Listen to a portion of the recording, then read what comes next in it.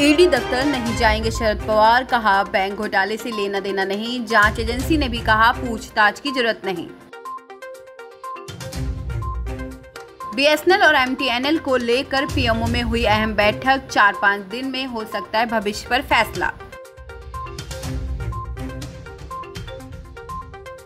गुजरात में सूरत के बाज़ार में ट्रांसजेंडरों की नो एंट्री। इलाहाबाद हाईकोर्ट ने कहा कि ध्वनि प्रदूषण करने वालों की अब खैर नहीं लगेगा 10 लाख रुपए का जुर्माना। दिल्ली में सेंट्रल बैंक ऑफ़ इंडिया में लूट भाग रहे एक बदमाश को पुलिस ने पकड़ा दूसरे की तलाश जारी। विधानसभा चुनाव से ठीक पहले 25,000 करोड़ रुपए के महाराष्ट्र कोऑपरेटिव बैंक घोटाले में एनसीपी प्रमुख शरद पवार के खिलाफ केस दर्ज होने से महाराष्ट्र की राजनीति गर्मा गई है। शरद पवार आज बिना बुलाए प्रवर्तन निदेशालय के सामने पेश होने वाले थे।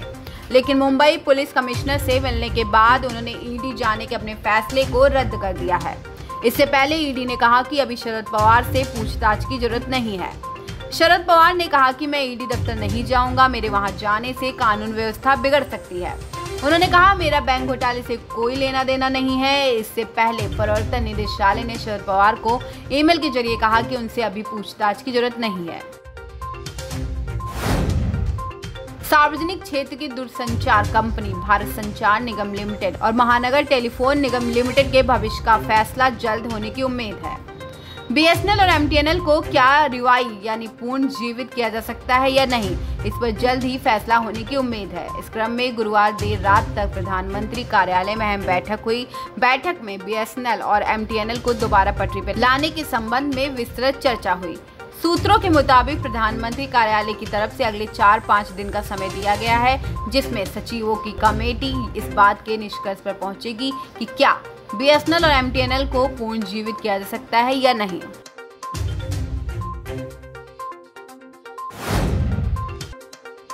ट्रांसजेंडर समुदाय के सदस्यों को गुजरात के सूरत के एक बाज़ार से गुरुवार को प्रतिबंधित कर दिया गया है।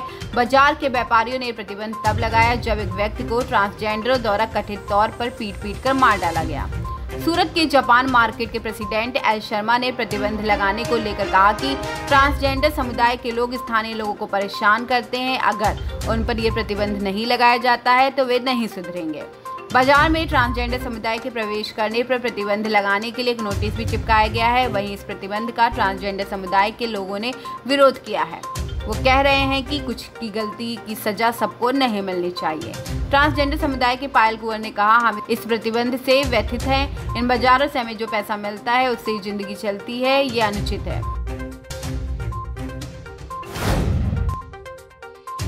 इलाहाबाद हाईकोर्ट ने बारात के दौरान डीजे से होने वाले ध्वनि प्रदूषण पर सख्त आदेश दिया है। हाईकोर्ट के आदेश के मुताबिक अब सड़कों पर 100 मीटर से अधिक दूरी तक बारात के लोग डीजे के साथ नहीं घूम पाएँगे। अधिक दूरी तक बारात निकालने पर ध्वनि प्रदूषण और ट्रैफ़िक जाम होने की स्थिति में भारी जुर्माना वसूला जाएगा। ध्वनि प्रदूषण पर शिव वाटिका मैरिज हॉल द्वारा याचिका पर justice P K S Baghel और जस्टिस पंकज भाटिया की पीठ ने आदेश दिया है। मामले की अगली सुनवाई 6 नवंबर को होगी। आपको बता दें कि पीठ ने ये कहा कि मैरिज हॉल में ध्वनि प्रदूषण की शिकायत पर 10 लाख रुपए तक का जुर्माना वसूला जाएगा। कोर्ट ने अपने फैसले में कहा कि सुशील चंद्र श्रीवास्तव केस में दिए गए निर्देशों के तहत यदि किसी मैरिज हॉल में ध्वनि प्रदूषण नियंत्रण कानून का पालन नहीं किया जाता तो पहले गलती पर एक लाख, दूसरी गलती पर पाँच लाख और तीसरी गलती पर दस लाख रुपए का जुर्माना वसूला जाएगा। तीन गलती के बाद जिलाधिकारी मैरिज हॉल का लाइसेंस रद्द कर देंगे।